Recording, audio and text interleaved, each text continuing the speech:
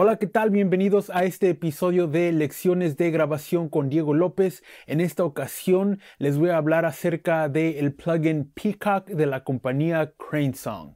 Y antes de hablar de este plugin, voy a hablar un poco acerca de la mente maestra detrás de la compañía CraneSong.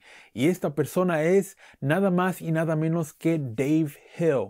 ¿Y quién es Dave Hill? Simple y sencillamente el diseñador de equipo de audio más respetado en toda la industria. Aquellos que hemos logrado conocer y hablar con Dave Hill, rápidamente nos damos cuenta que fácilmente va a ser una de las personas más inteligentes que vamos a conocer en toda nuestra vida. Y esta inteligencia se hace notar muy fácilmente en todos los aparatos y plugins que diseña Dave Hill.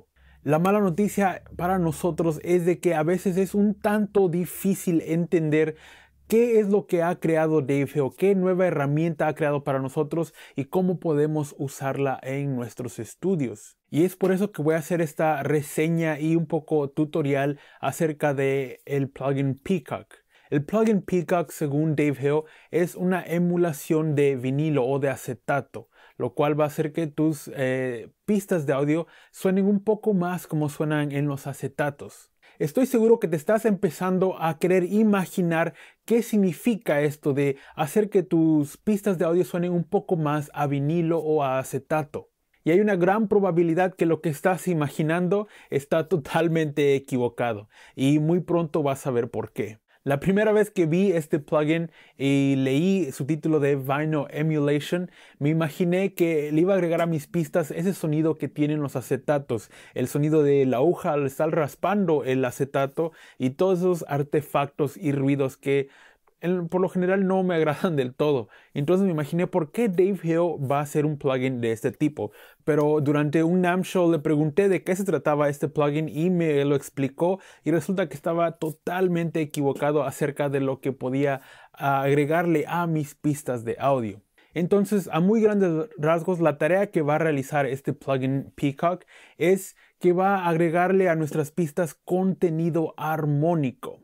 ¿Y qué significa contenido armónico? Bueno, podemos pasar las horas y días hablando acerca de eso, pero a muy grandes rasgos, ah, imagínate una guitarra eléctrica conectada a un amplificador de bulbos y empiezas a tocar la guitarra y tiene un sonido muy limpio, muy transparente, pero empiezas a aumentarle el volumen al amplificador y empiezas a hacer que los tubos empiecen a, los bulbos empiecen a saturar un poco ese sonido de guitarra. Lo que los bulbos están haciendo es agregar contenido armónico y al momento de tocar nuestra guitarra otra vez va a sonar un poco distorsionada y un poco más agresiva. Eso a grandes rasgos es un ejemplo de contenido armónico. Entonces, hasta cierto grado, Peacock va a agregar un poco de distorsión a nuestras pistas, pero una distorsión muy musical y muy agradable. Vamos a pasar a las muestras de audio. Vamos a trabajar con estas pistas de la banda Holly, a la cual le agradezco una vez más que nos den permiso de usar su música para realizar esos tutoriales. voy a empezar por hablar acerca de Dither y para acabar rápido, no lo uso, nunca lo he usado con este plugin. Hablar de Dither nos puede ah, hacer entrar en otra discusión en la cual no, me quiero, no quiero entablar en este momento, así que olvidémonos de Dither en este momento, no nos preocupemos por eso. La primera pista que voy a usar es una pista de percusión y decidí usar esta pista porque me sorprendió bastante lo fácil que se me hacía distinguir el efecto que imponía, que realizaba el plugin Peacock sobre todo el rango de frecuencias de esta percusión. Para que empiecen a darse cuenta qué es lo que está haciendo este plugin, voy a subir el contenido armónico al máximo y voy a aumentar este, el efecto dinámico al, al máximo. Y un poco más adelante les voy a explicar qué significa esto de dynamic. Y vamos a ir pasando por todos los colores silver, gold, rich, fat y deep para que vean cómo va afectando cada uno de estos parámetros, de esos algoritmos, a todo el rango de frecuencias de esta pista. Vamos a empezar a escucharla primero en modo bypass y luego vamos a ir activando el plugin.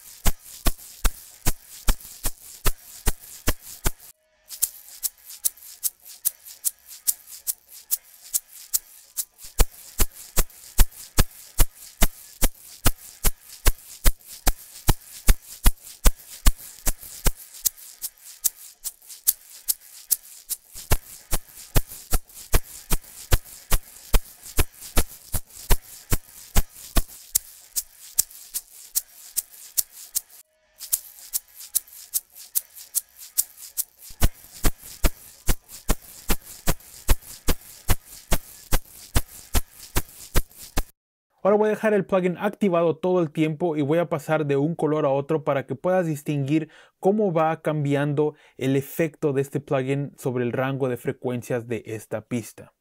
Empecemos con Silver.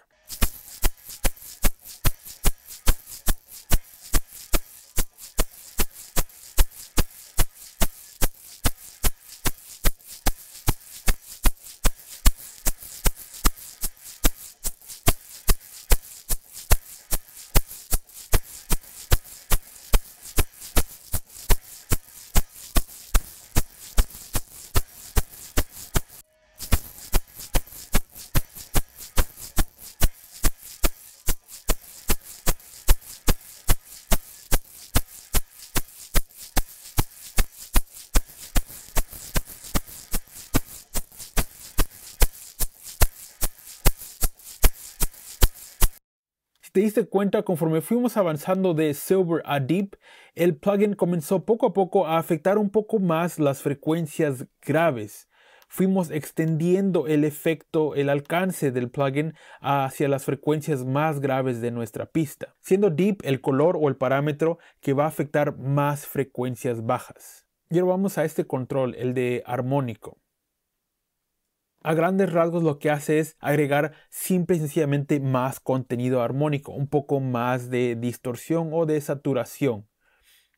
En este caso vamos a simplemente a llamarlo contenido armónico. No quiero meterme en discusiones técnicas, así que lo vamos a llamar como lo ha catalogado a Dave Hill en este caso, es contenido armónico.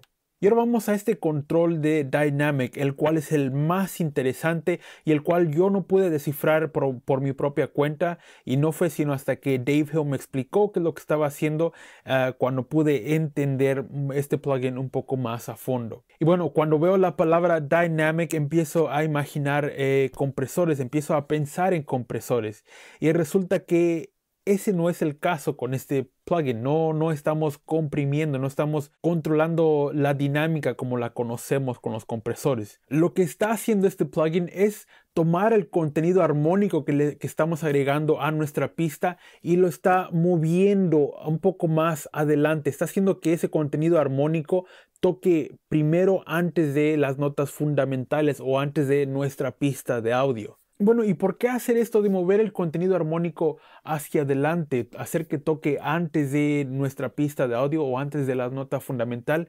Bueno, según Dave Hill, esta es una anomalía de los acetatos. Esto sucede naturalmente al momento de que la hoja empieza a leer el acetato, empieza a, tocar el acetato, se empieza a crear este fenómeno, empieza, los armónicos empiezan a tocar antes que la nota fundamental, antes que la pista de audio. Y es por eso que Dave Hill llama a este plugin un vinyl emulation. Vamos a pasar una vez más a nuestra pista de audio, a nuestra pista de percusión y vamos a jugar solo con el control de Dynamic para que empieces a ver qué efecto está realizando sobre el plugin, sobre nuestra señal de audio. Como color vamos a seleccionar Deep porque es el que más afecta en este caso eh, el mayor rango de frecuencias en la pista. Vamos a subir el contenido armónico al máximo. Y poco a poco vamos a ir aumentando este control de dinámica. A ver qué sucede, a ver qué logramos escuchar.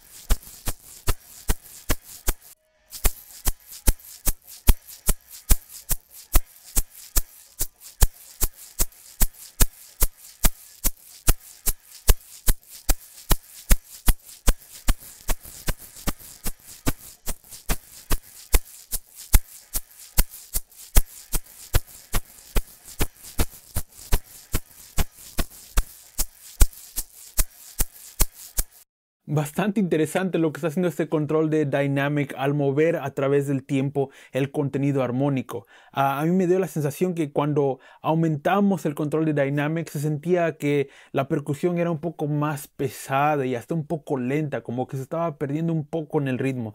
Así que en este caso tal vez no, no usaríamos el plugin en este extremo, pero Esto lo estoy haciendo nada más para que te empieces a dar cuenta del cambio que realiza este plugin, cómo es que funciona, para que sea bastante obvio el funcionamiento de estos controles del plugin. Y bueno, ahora vamos a hacer lo mismo, vamos a usar solo un control, vamos a dejar Dynamic al 100 y vamos a ir aumentando el contenido armónico poco a poco.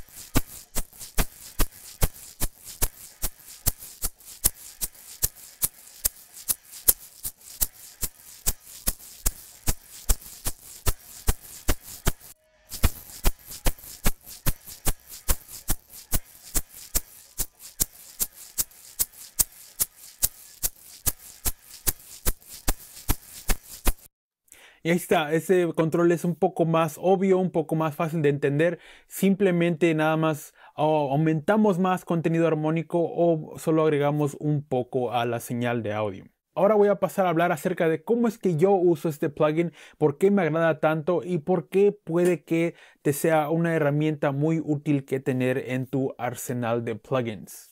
Hay dos razones principales por las que me gusta obtener este plugin en mi arsenal de herramientas. La primera es cuando quiero agregarle un poco más de cuerpo a una señal de audio, cuando quiero hacer que suene un poco más sólido y más lleno, con más contenido armónico.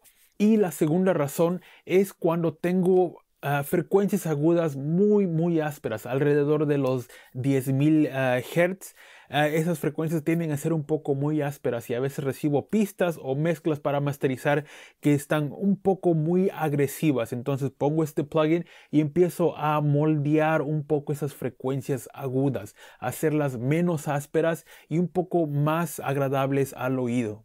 A la hora de masterizar me agrada mucho usar este plugin pero también me gusta usarlo a la hora de mezcla para agregarle más cuerpo a pistas que recibo a veces que están un poco muy delgadas o no muy bien grabadas. Me ayuda a definirlas un poco más, a, controlar esos sonidos ásperos y hacer que suenen un poco más natural y agradable al oído.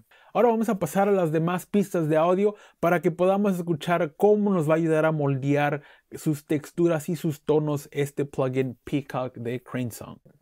Y ahora vamos a escuchar esta guitarra eléctrica y vamos a empezar con el plugin en modo bypass y lo vamos a activar para que podamos escuchar lo que está haciendo el plugin Peacock.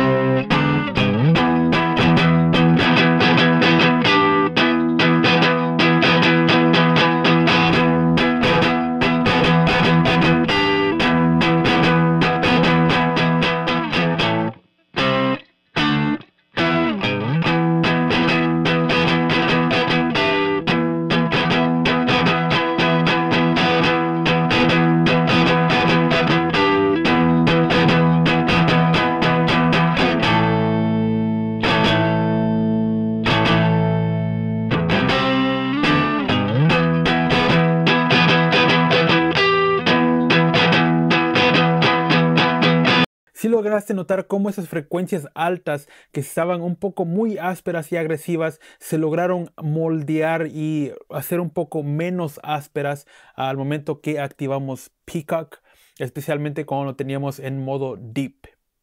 Pero ahora, bueno, vamos a pasar al este bajo eléctrico y vamos a ver qué es lo que logramos hacer con Peacock. Y antes de iniciar con esto, vale la pena recalcar que al momento de grabar este bajo, ah, grabamos dos pistas de manera simultánea. Ah, grabamos una en la que queríamos obtener más que nada el ataque y la claridad de las notas y aparte teníamos otra pista en la que obtenemos todo el contenido armónico y los graves de nuestro bajo eléctrico. Pero en este caso vamos a suponer que nos llega esta pista y como te vas a dar cuenta está un poco muy delgada y casi no tiene frecuencias bajas para hacer una pista de bueno bajo eléctrico pero vamos a escuchar qué es lo que podemos hacer al momento de incorporar Peacock en nuestra pista de audio. Una vez más, vamos a empezar en modo bypass y luego lo vamos a activar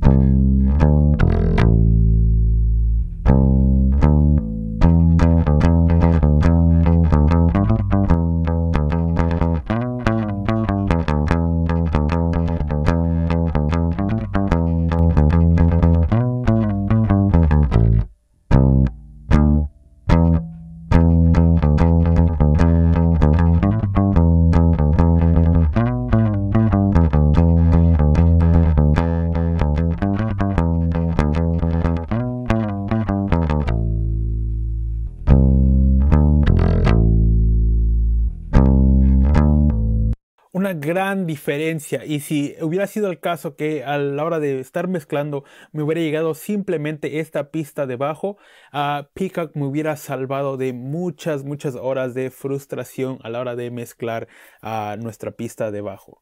Pero ahora bueno, pasemos a una pista estéreo, pista de overheads y vamos a ver qué es lo que podemos hacer con Peacock ah, en nuestros overheads.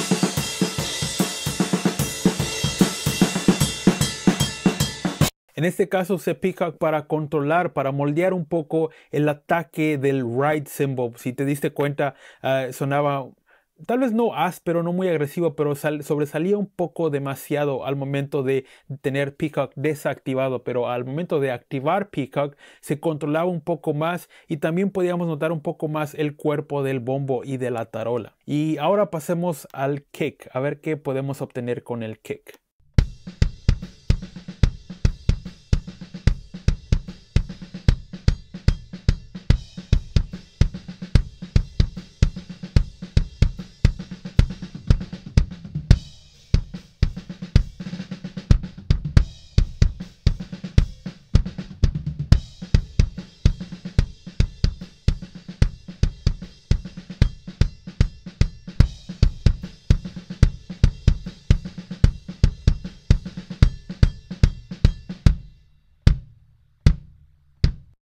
Mí me agrada bastante qué es lo que hice a la hora de grabar este kick. Ah, pero obviamente se nota una diferencia, se nota más cuerpo, más frecuencias graves al momento de activar Peacock. Y en este caso no lo teníamos en, la, en el color deep, lo teníamos en rich y empezamos un poco como a 30, 38 en cuanto a contenido armónico y creo que era suficiente como para darle solo un toque más de cuerpo a nuestro bombo. Y bueno, ahí lo tienen el plugin ah, Peacock de la compañía CraneSong de la mente maestra de Dave Hill. Un plugin ah, impresionante, el cual desde que empecé a usarlo, desde que empecé a conocerlo, ah, no he dejado de usarlo en la mayoría de mis producciones a la hora de mezclar y también a la hora de masterizar. Es una herramienta muy, muy importante. pero antes de terminar, muy malas noticias para la gran mayoría de ustedes, de nosotros. Ah, la primera es de que el plugin es muy caro, es bastante caro.